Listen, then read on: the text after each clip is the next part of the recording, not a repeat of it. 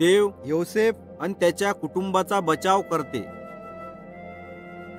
बऱ्याच वर्षानंतर जेव्हा याकोब म्हातारा झाला होता त्याने आपला आवडता पोरगा योसेफले मेंढराईचे राखण करणाऱ्या आपल्या मोठ्या भावाईकडे त्याचे कसं काय चालले आहे हे पाहण्यासाठी पाठवले.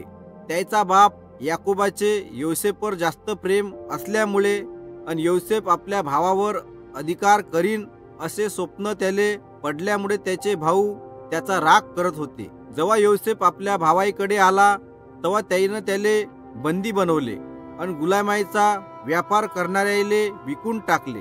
योसेफच्या भावाईनं घरी परत येण्याच्या पहिले योसेफचा जगा बकरीच्या रक्तामध्ये बुडवला. मग त्यानं तो जगा आपल्या बापाले दाखवला.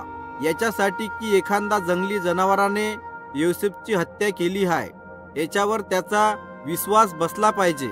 तेव्हा याकोबाले माहीत झाले की त्याचा आवडता पोराची जंगली जनावराने हत्या केली. तेव्हा त्याले लय दुःख झाले. त्या गुलामाईचा व्यापार करणाऱ्यानं योसेफले मिश्र देशामध्ये आणले. नील नदीच्या किनाऱ्यावर वसलेल्या मिश्र देश हा एक मोठा आणि सामर्थ्यशाली देश होता.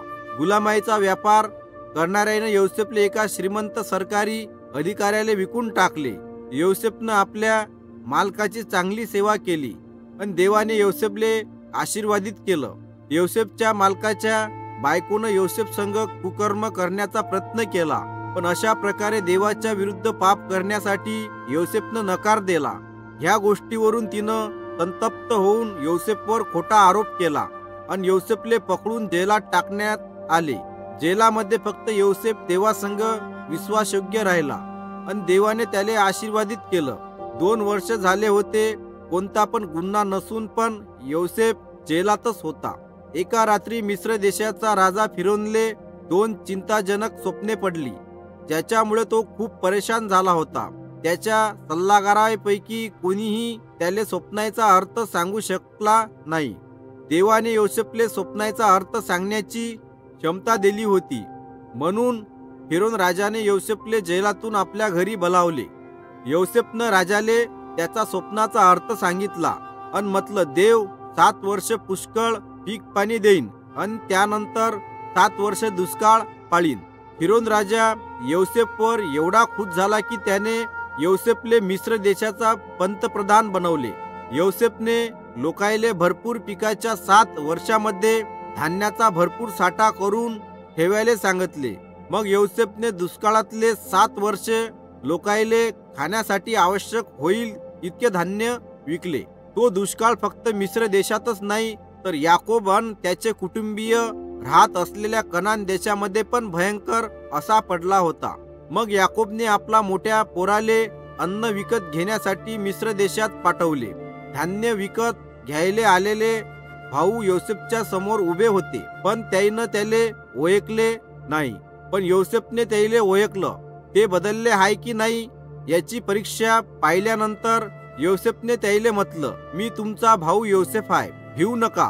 तुम्ही मले गुलाम म्हणून विकून माहे वाईट करण्याचा प्रयत्न केला पण देवाने त्याच वाईटाचा माहे चांगलं करण्यासाठी उपयोग केला.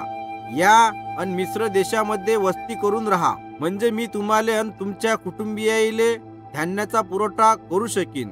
जेव्हा योसेफचे भाऊ घरी आले तेव्हा त्यानं त्याचा बाप याकोबले योसेफ अजून जिवंत आहे असे सांगितले. तेव्हा याकोबले खूप आनंद झाला. जरी याकोब आता मतारा झाला होता तरी पण तो आपल्या कुटुंबासंग मिश्र देशात आला. आणि ते सर्व तेथे राहू लागले. याकोबाने आपल्या मरणाच्या पहिले आपल्या सर्व पोरायले आशीर्वाद दिला. देवाने अब्राम संघ केलेल्या कराराची प्रतिज्ञा इसाकाकडे मग याकोब आणि त्याच्या बारा पोराईकडे आणि त्याच्या कुटुंबियाकडे सोपवण्यात आली. या बारा पोराईची संतती हेच इस्रायल देशाचे बारा वंश झाले.